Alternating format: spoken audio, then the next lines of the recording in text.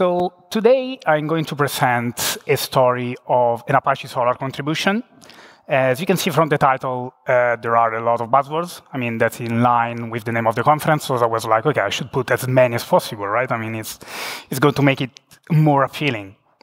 So before we start, uh, a quick introduction about myself. So my name is Alessandro Benedetti. I'm originally from Tarquinia, Italy, an ancient uh, city, uh, pre-Roman actually, so from, is an Etruscan city, and I am an R&D software engineer. Uh, in my spare time, I'm the director of my company. I mean, I used to say that because I actually love a lot engineering, and uh, the direction of a company uh, implies a lot of many other things, which sometimes are a little bit more boring, but I really like the R&D side of my job.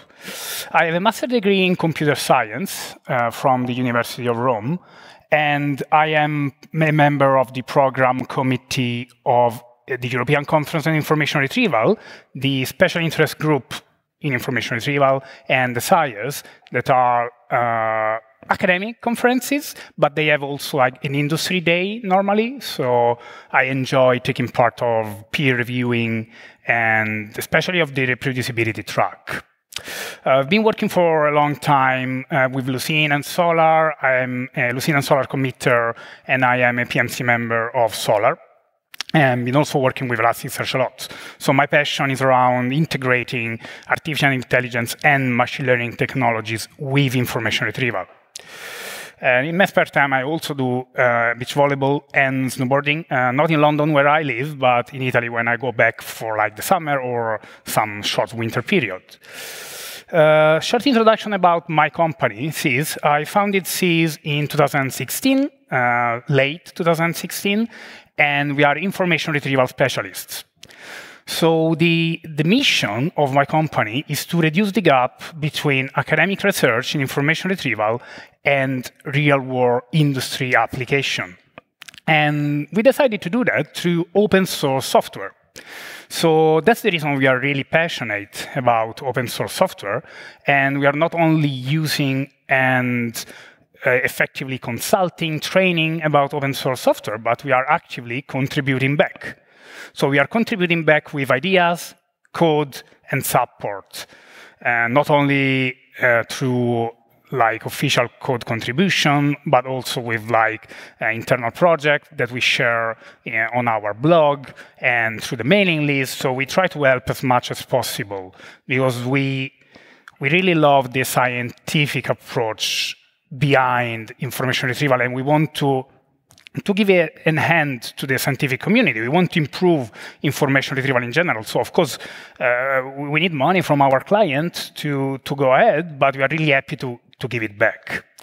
And some of the trends we, we are working now are listed in the slide. I, I won't repeat them, but we are really passionate about integrating machine learning with search, and this is uh, part of our talk today. So, an overview about what I'm going to talk about. So first of all, we're going to describe some of the problem with lexical search, effectively like term-based search. Uh, you know, I'm going to use semantic search as a sort of the holy grail of information retrieval, right? Being able to always recognize the meaning behind the user information need and return relevant results. Uh, currently, uh, most of search solutions you use lexical search, so matching on terms, and there are some problems with it. Then we are going to describe how neural uh, vector-based search works, how it aims to solve those problems, and the Apache Solr implementation that's now available from Solr 9.0 released last month. Then a little bit of a description about BERT and how you can integrate language models, large language models, with Solr to obtain an end-to-end -end neural search implementation. I'm going to wrap it up with some future works to describe uh, our current projects, what's currently in line for us to develop, and uh, what we are going to uh, release and contribute soon. So the first problem I want to describe is the uh, vocabulary mismatch problem.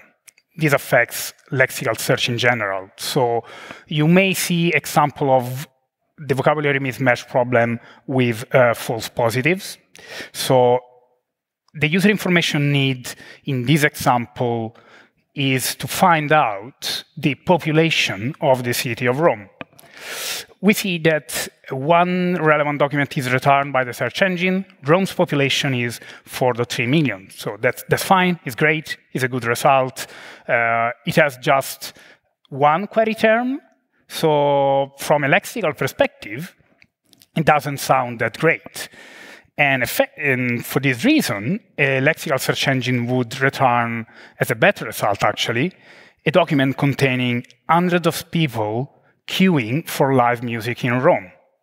So this document has nothing to do with the Rome's population. I mean, you know, not very relevant, but it shares with the query three query terms. So from a lexical perspective, it contains a lot of information which is in line with the user information need. So that's a false positive caused by the fact that the uh, dictionary used by the user doesn't align with the dictionary in the corpus. Another example is the uh, false negative kind of results that you can get with a vocabulary mismatch problem. So 2022, the year of the tiger, so this example is in line with the um, Chinese calendar. And the query, the user information need is about the size of the tiger, of the big cat called tiger. So how big is a tiger? We can get lexically a document, I mean, assuming we applied a little bit of stemming, a, a, a nice candidate would be the tiger is the biggest member of the Felidae family. Now, unfortunately, uh, a result that potentially is not returned would be Panthera tigris can reach 390 centimeters nose to tail. We can see here that instead of tiger is used the scientific Latin name for the animal. And even if it's like an interesting and absolutely relevant result, a lexical search engine, assuming it doesn't use any advanced like synonym matching uh, algorithm, is not going to return it. In general, semantic similarity has a problem with the vocabulary. So you may have user information needs that are extremely similar from a lexical perspective, such as how are you or how old are you, so clearly they share a lot of query terms, but the meaning is completely different. On the other end, we can have user information needs that uh, don't share uh, any term at all, and with a very similar meaning, such as how old are you and what is your age. So how neural search aims to solve this problem. We need to do a, a, a, little step back to describe the vector representation that is used by lexical search and, and by dense retrieval. So sparse modeling implies, and that is used by bag of words examples, bag of words approaches, implies that we model the uh, dimension of the vector that correspond to the size of the term dictionary. So each term in the corpus of information corresponds to one dimension in the vector. So with this structure, we end up having for any given document a vector that is mostly zeros, because uh, most of the terms in the dictionaries are not in a, in a certain document. Then some of the values, so the terms that appear in the document, will be different from zero. So it can be just one when the term is present, or potentially we may encode the term frequencies or any kind of term scoring in this representation. On the other end, with dense representation, we have a fixed number of dimensions, and normally this is uh, much lower than sparse representations, so the vectors are shorter. And for any given document, we have a vector that is mostly non-zeros. But how can you generate this vector? How can you encode the textual information in vectors? with the neural search paradigm, we are going to use uh, deep neural networks to encode the text in a vector representation, store them in data structures at indexing time, and then query them. Specifically, we are going to call transformer the element that will have the responsibility of doing this encoding. We're going to see later on how effectively like large language models and transformer work to a high level and how you can integrate them with Solr.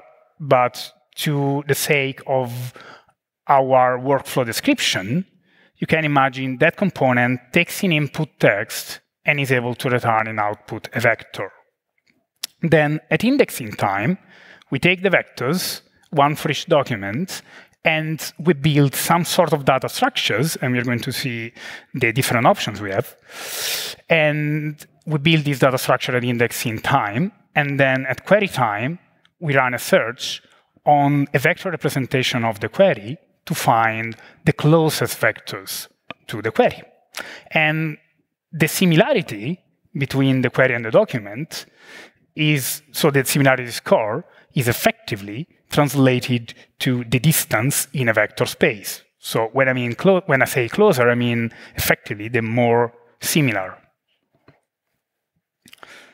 There are various ways of calculating the distance between vectors. Uh, we are not going to to describe that much, the, the math behind that, uh, just for you to know which kind of distance to use, it depends of your use case. So the, the classic recommendation is like experiment and just, you know, as a general idea, the cosine similarity is a distance measure that takes into account the angle between vectors and uh, this is pretty much a solid option for information retrieval use cases, uh, but you should experiment. And anyway, there are various options supported by uh, Solr regarding that. So how do you query for vectors? So you want to find the top k nearest vectors, so nearest neighbors, as it calls. And the acronym you potentially have seen is KNN, and what you do is effectively you start from your query vector and you retrieve what's closer. To, I mean, the, the closest, the better, and highest semantic similarity. But running exact nearest neighbor search is expensive. So if you take just your query vector and then the vectors from each of your documents and you just calculate the distance, and you may have like millions of vectors. This takes time, this takes computational resources. So, you know, unless you have a small corpus of information, probably is not the right idea to go with the exact nearest neighbor. So researchers ended up finding like different approximate solutions. So you can lose accuracy, but gain a lot of from the performance perspective. Normally, going uh, through the approximate way means you lose a little bit of information, so you are compressing potentially your, your vectors, you are pre-processing your data and building some data structures that then you reuse at query time. Just to give you like some context, there are mainly three families of solutions for approximating your neighbor.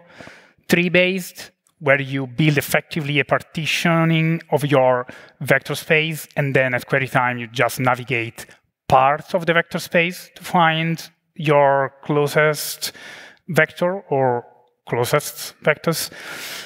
Hashing, so you can reduce the dimensionality of your vectors, hopefully, I mean, avoiding to lose uh, the, the, information and keeping the differences between vectors, and then grouping similar objects, so like using clustering approaches. Finally, graph-based approaches, which is the one used by Lucene and then in Solr, and especially we're going to talk about HNSW. And first of all, this acronym stands for Hierarchical Navigable Small World Graphs. So it's one of among the uh, top performing solutions in, uh, from the index time data structures that you can use for approximate nearest neighbor. And a couple of references from the original paper that uh, developed the idea. Uh, the latest one is from 2018, but of course the research team has been working on this even with some additional developments later than that. So what is a hierarchical navigable small world graph? It's a proximity graph, so it models vectors and distances between vectors. Specifically, each of the vertices in the graph is a vector, and closer vectors are linked together. Now, why uh, is hierarchical? So the, the approach behind hierarchical navigable small world graph takes inspiration from skip lists. So what you do, you model different layers, and the higher the layer, the longer the links, so the longer the edges between the nodes. And this is for fast retrieval. And if you go down in layers, what you get is shorter edges, so shorter links for accuracy. So you are able to refine the distances and refine the neighbors effectively. So what you do is you go layer by layer with a greedy search, looking for the local minimum that hopefully is the global minimum. And more you go down and more you refine the, uh, the minimum. The degree of, of the vertices is something that you decide when building the graph. So effectively, the higher the degree, the lower the probability of hitting a local minimum, because it means that the graph is more connected and you are more likely to end up finding the, the right neighbors. So how this is implemented in uh, Solr? First of all, Apache Lucene implementation. So originally, before the end of 2020, vector-based search was doable in Lucene using uh, data structures that were not meant for that functionality. So this means that, yeah, it was working, uh, not in an optimal way, but it was possible to achieve vector-based search. In November 2020, with Apache Lucene 9.0, a dedicated codec with a dedicated file format has been contributed for navigable small world graphs. So that's the first milestone to enable vector-based search and consequentially neural search.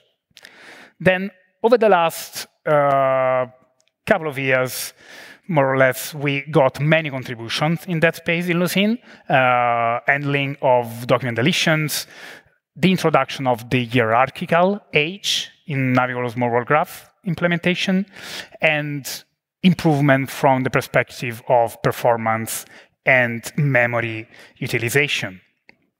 In March uh, 2022, also uh, pre-filtering has been contributed in Lucene to give the possibility of reducing the scope of your search before looking for neighbors. Uh, many more issues are actually related with this topic. Uh, I tagged them, and you can run a Jira query on the Lucene and Solr projects from the Apache Software Foundation to find out if you're curious about like all the different contributions.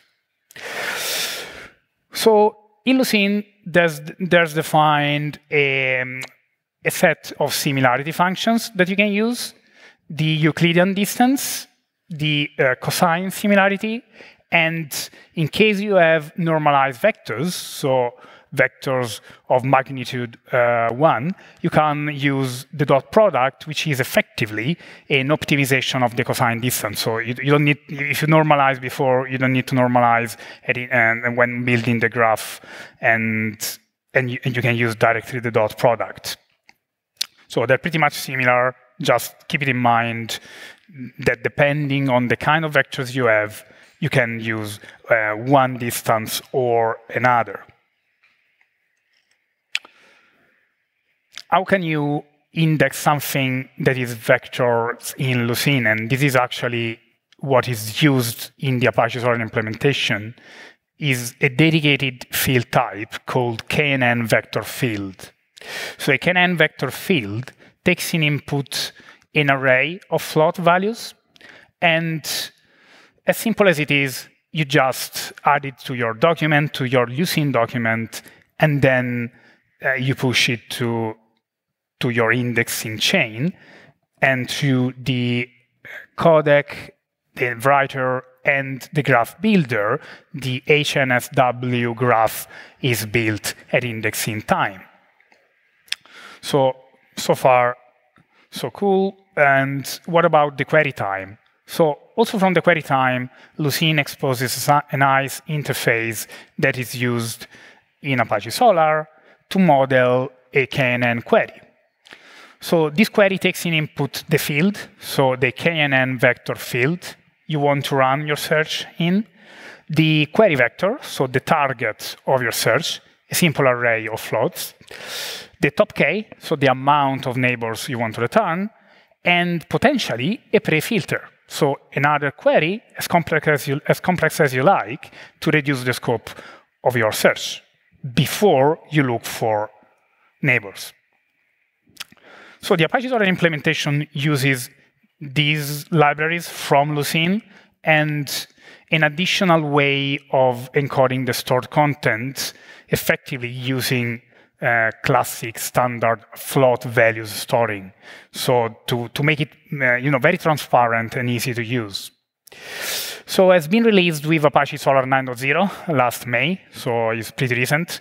Uh, I've been working on that at the beginning of the year, and thanks to the effort of the community, we are we are we've been able to release it uh, last month. So also in the case of Solr, you can take a look to to the Jira uh, link from the slides, or in general, searching for vector-based search in Solr to find like all the related issues and also future works.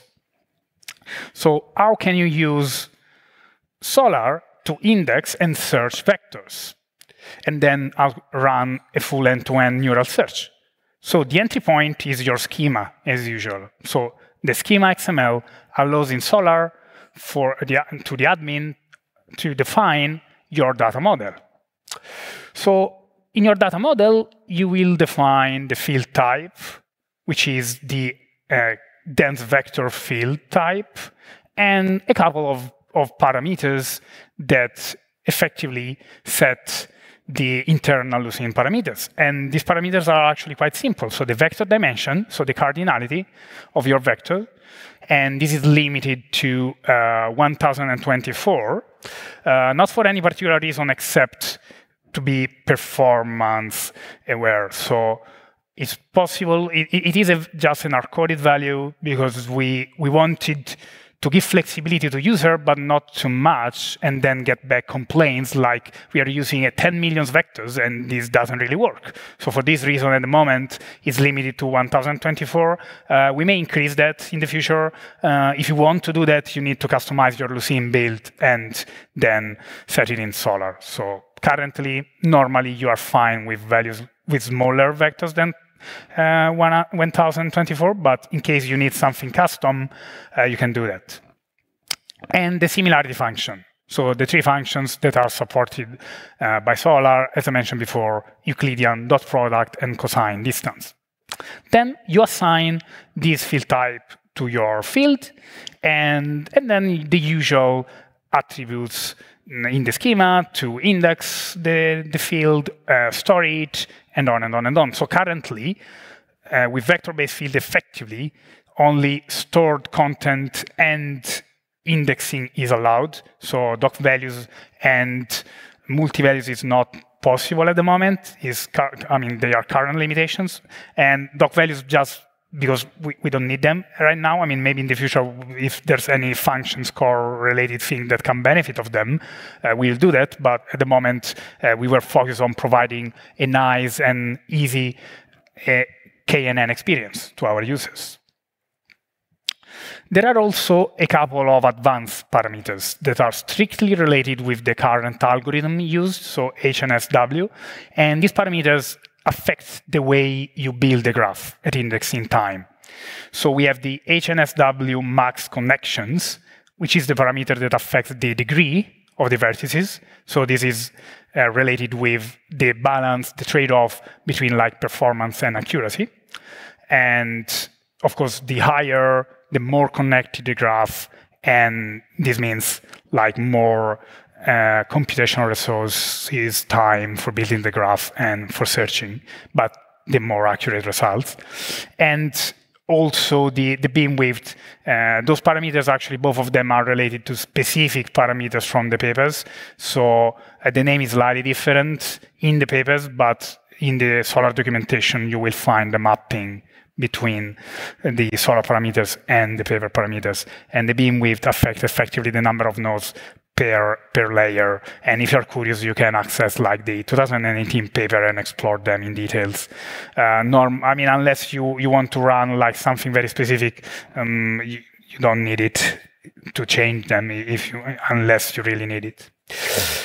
So how can you index vectors in, uh, in Solr? So that's quite simple. It's not that different from a multi-valued float. So you just pass uh, in a JSON a, a JSON array so an array of float values.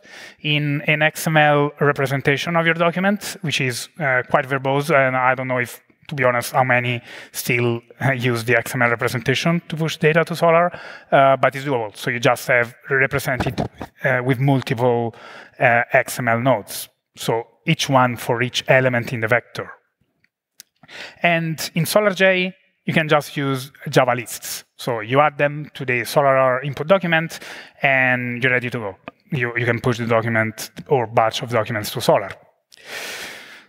So from the indexing perspective and retrieval perspective in the search results, again, not very different from just a multivariate float. So that's, that's quite simple and, and nice. From the searching perspective, a new query parser has been introduced to Solr that takes in input very simple parameters. The field, which must be a dense vector field to, to run your queries. The top k, so the amount of neighbors you want to retrieve. And the query vector, that's it, represented with uh, an array with square brackets. So you define already everything at indexing time, so you don't need any anything else. So it's quite simple. But uh, there are some uh, limitations at the moment. So let, let's explore the limitations as well. So filter queries with vector-based search in Solr.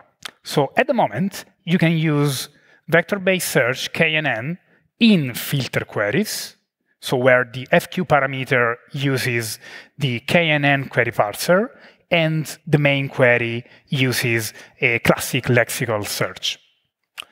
You can also do the opposite. So you can use the KNN vector-based search in your main query and like classic lexical search in the filter query or filter queries. But what's going on at the moment is post filtering. So what you do is you intersect the document IDs coming from your filters with the document IDs coming from your top K neighbors. And this means that potentially you end up with less results than your top K because you just take the, the top K and, and potentially you reduce that set. So uh, this, of course, is a problem. It's a current limitation, uh, but with, a, with the new release, Uh, coming up. So with Solr 9.1, we are introducing pre-filtering as well. So you do the filter first, and then you look for the top K neighbors. Another limitation is with re-ranking. So it's currently possible to use re-ranking with the KNN query parser, but what happens is that you change the score of the first pass retrieval only of the documents that appears in the top K. So you're not running a one-to-one -one rescoring of each of the uh, first pass retrieval uh, search results, but you just effectively intersect them again with the KNN results. So pure rescoring is uh, another feature that is coming with a future Solr release. So you will be able to select the top K candidates uh, in a lexical way, potentially, and then just rescore them or manipulate, combine their score with a language model based approach. And something that is actually uh, currently possible and can be quite interesting is to combine hybrid dense and sparse retrieval in Apache Solr. So there are query parsers in Apache Solr that allow you to combine different query parsers, so like different clauses, such as the Boolean query parser, where you can define like multiple should clauses that are going to affect how the search results are matched from your index and scored in your ranking. So you can define a clause which is a lexical clause and another clause that is a, pure vector-based search clause. And then documents are going to, to be returned, matching, in this example, both the should clauses and scores are calculated uh, summing them, or potentially depending on the way you are combining these clauses, if you are using an edismax, for example, uh, picking the, the max out of it. And what happens from the Lucene side is that you build your query combining uh, the results of those two different query parsers in this example. So we've done some uh, initial benchmark, and what we found out was on a small index uh, performance to be quite nice. Of course, this doesn't necessarily reflect linearly uh, bigger volumes, but uh, with an index of more or less like one gigabyte, two gigabytes, uh, we, we ended up having uh, this kind of measures in terms of time when building the index, so it takes more time to build the, the graphs. But from a query time perspective, KNN ended up being quite fast, actually uh, faster than classic simple lexical search. And in terms of optimization of your segments in the index, so after a merge of all your segments, we notice an even bigger improvement in uh, KNN search results. So we're going to do uh, additional benchmarks in the future, but this just to give an idea that it's usable effectively already. So how, how can you use uh, BERT with all of this? So first of all, how effectively you can uh, encode vectors from text and then use those vectors in Solr. So there are various ways. Of course, you may have already vectors. Maybe you want to generate vectors from text, and large language models can be an option. Uh, but large, large language models needs like a lot of data to be trained on. So it's normally difficult for like a small enterprise to gather uh, such a big amount of data. And for this reason, transformers were uh, quite successful. So because they used a pre-training on uh, large uh, corpora, such as uh, Wikipedia, the web, a large bibliographic uh, corpus of information. And then that means for the transformer, for the language model, and a way to achieve an understanding, a general understanding of the language. Then you will need to fine tune it with your uh, smaller amount of data, which is domain related, potentially to achieve a specific task. So you may, you may be looking for text summarization, maybe uh, dense retrieval, uh, maybe uh, translation, so machine translation, or essay generation, whatever is what, what you want to do. And the uh, large language models approach shares similarities with, uh, with Word2Vec. So effectively, Word2Vec uh, was generating a vector per word with like uh, large language models, you can generate vectors per sentences, for example, for each sentence. And just to give you an idea of how some of them work, is using like a masked language modeling approach, where you take an input a window of a text with various terms, you hide one of the terms, and the model aims to predict the missing term. So you train it on on this large corpora, and then the, the language model is able to predict uh, missing terms, and you can extract the weights from the deep learning neural networks you produced to effectively get the vectors. So BERT is one of them, and is actually a, a huge family of them, and was originally uh, contributed by Google, and over the time has been like refined a lot and there are like many different variations. There are, uh, I mean, you can download like pre-trained BERT models, and then you can fine-tune them. And uh, the, the important thing for you to know is that they allow you to pass from text to vectors. And how can you do that with like uh, open source software? So with open source software, uh, the the result is going to be using uh, like a parser for your text, classic text analysis, and then you you take an input a model. So this model that can be originally pre-trained and then uh, if you just use it pre-trained, it's not going to work that well. So the, the recommendation is to go through the fine-tuning step. So the fine-tuning step effectively takes in input the train, the pre-trained model and refine the weights in the neural networks, potentially uh, changing the last layer to adapt to your domain, to your task. So in, uh, in dense retrieval case, what we want to do is to achieve a large difference between the score of a positive document for your query and a negative document for your query. So effectively providing these examples, we can fine tune the model to recognize better this, this difference and effectively then we can pick the, the weights from the neural network and those are the, the vectors values. In, in this example, we, we are going to uh, use uh, PyTorch to, to build uh, and encode the vectors. And we are going to use, uh, in, in this case, the model is, is something in input, right? So uh, it doesn't matter what the model is. Uh, we, we picked in this example like a sentence BERT uh, just downloaded from uh, from the available pre-trained models. But as I mentioned, it's not recommended to use it just as it is because you want to fine-tune it. But with PyTorch and some Python code is actually uh, super simple to move from your document text to vectors. So you you import your libraries. You may potentially use uh, GPU uh, acceleration or not. It depends if you have it available. And then what you do, you read your documents, you fetch sentences.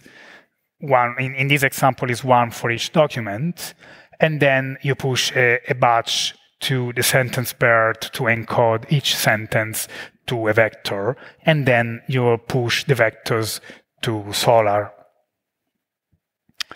So literally like with 12, 13 lines of codes, you can achieve vectorization. Of course, then if you want to bring this to production, you need to to also uh, take care of performance and, and, everything. But nowadays, thanks to like GPU utilization, you can achieve like nice performances. Of course, it's expensive to build to build vectors, but then you may achieve. I mean, this is the, the balance. So you spend a lot of time uh, generating the vectors and at indexing time to then obtain the benefits at query time. So to wrap it up, some uh, future and current works we're doing. So from the Solr perspective, working to simplify the configuration in the schema so that currently you need potentially to specify uh, the codec you want to use, which is quite advanced. So we want to simplify that. We want to just leave the algorithm as a, an input parameter and the advanced HNSW uh, tuning for the graph building as a possibility. But we, we don't want users to like really specify the Lucene 90 or 91 or 92 codec. So this is currently a work in progress. Pre-filtering to Solr. So as I mentioned, in March has been contributed to Lucene and this has been adopted in Elasticsearch. So uh, we want to do the same for Solr. Actually, I mean, it's almost finished this work and it's going to be contributed and available from Solr 9.1. So this will give the ability of running filter queries, reduce the scope of your search, and then looking for top K neighbors. And then some Lucene simplification. So I've been working on uh, the vector similarity function simplification because the Euclidean distance works like the opposite of like the others. So effectively it's a distance whilst the others are a similarity. So, you know, the more distant actually, uh, the less relevant. So the others on the other end is like the higher cosine similarity, the more relevant. So this like different in uh, in trend uh, was complicating a little bit the code. So I've been working into that simplification. And another contribution we are working on is to provide an update request processor to enrich text at indexing time and get the vectors directly in Solr and the same query parser that takes in input text and a BERT model to do the inference. Of course, uh, from a code perspective, it's not that complex, but we are also evaluating all the uh, performance implications. So uh, before like contributing and making it available in Solr, we want to make sure that there's like a nice balance in the memory, for example, used and uh, by your Solr instance to do these effectively like end-to-end directly in Solr. So some additional resources from our blog. So we wrote a lot about neural search in Solr and all uh, the details of our contribution and how you can use BERT to improve search relevance. And if you can also tackle this problem with like additional strategies, AI related, such as uh, document enriching and potentially like changing the, the terms score. So instead of using term frequencies in the index, using term scores uh, effectively identified through deep learning. So uh, to, to finish the talk with some uh, thanks to uh, the Apache Lucene community, uh, which I'm part for all the HNSW uh, goodies and improvements, uh, Elia Porciani, a colleague of mine that helped me for the contribution, Christine for the accurate review, so Christine is a, a Lucene and Solr committer. She helped me a lot in reviewing the code of the contribution. Cassandra for the documentation. So uh, being a non-native speaker, uh, I you know, I ended up having some not ideal documentation sentences, so she helped me a lot to simplify and improve that.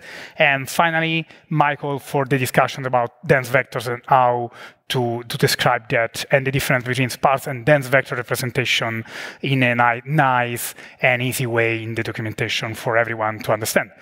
And thank you, audience, for your attention.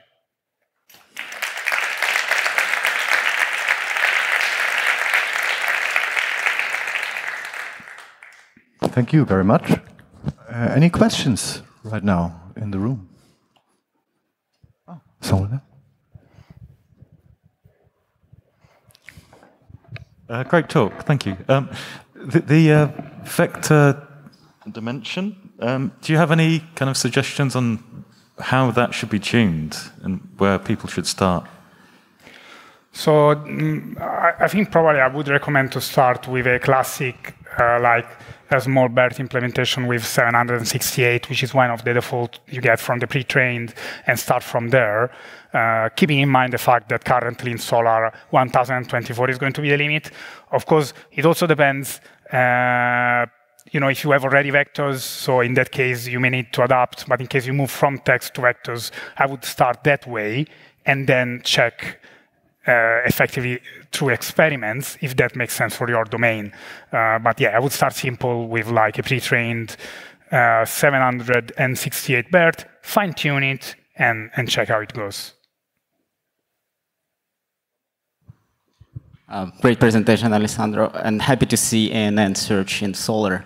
Uh, great work. Um, so one way to do hybrid search is to um, for example, say, okay, I trust lexical search 90%, and I trust uh, ANN search 10%. So you could assign weights during the scoring, right? And then your re-ranker could reorder the documents in the way they should be reordered. Um, and the reason here, I guess, is that dense search is more like optimized for recall or at least vector search, right? And the lexical search could be tuned for precision, so you could have a balance there. So have you thought about this use case and are you planning to implement one? So effectively, if you use combined query parsers, and you are aware that the score coming from vector-based search is going to be uh, from 0 to 1, for example, and you may tune it already because anyway the lexical search part effectively calculates the BM25 score with all the uh, boosts you can add as, as you prefer, and then uh, if you combine like Boolean, you're just going to do the sum. So uh, what you mentioned should be already possible. Of course, there's a problem with the lexical side that is not probabilistic in Solr and, and Lucene. So you don't really know if it's going to be you know, like, I don't know, 10,000 or, or one, while the vector-based search, unfortunately, is going, I mean, unfortunately, is always going to be from zero to one. So possible, but definitely, probably, yeah, it's not easy to, to do that right now. Um, also, probably the ideal kind of scenario I would like is to integrate it in some way with like uh, learning to rank so that these weights can come a little bit like uh, with more sense and making sure that you don't go like uh, dwarfing the vector-based search score or the other way around. So possible right now, but I would dedicate a little bit more time uh, for, for this problem. Does this answer your question, Dimitri? Last one, please. Thank you for a great talk, Alessandro. And uh, I would be interested to know if we have benchmarked or have some stats to um, differentiate between the classical similarity and vector. Like, does it um, outperforms the BM25 in any way? Do we have any stats about it? I mean, I love that you showcased about the indexing part, but do we have anything on the precision part, uh, vector search and BM25? Okay, so I've not done that directly from a quality perspective, uh, but uh, so the, the Solr implementation is quite similar to the Elasticsearch implementation, which is quite different from the OpenSearch implementation, actually. So if you take a look to the current benchmarks for Elasticsearch, I'm pretty sure they are pretty much similar to the Solr ones. Uh, we're going to do in the future also like quality related benchmarks for the Solr implementation, but Elasticsearch and Solr, both of them uses the same Lucene code. So from a quality perspective, uh, there are already, so if you go, I don't remember now uh, out of my had the exact links, but there are some benchmarks for quality, like recall uh, mostly for Elasticsearch, combining it with like uh, Facebook FAISS and Vespa, I think, and others. So you can take a look, you, you, at least you can have some inspiration and some idea from there. And when we release the Solr ones, I suspect it's going to be pretty similar. Okay, thank you very much, Alessandro. That was great. Thank you. Thank you.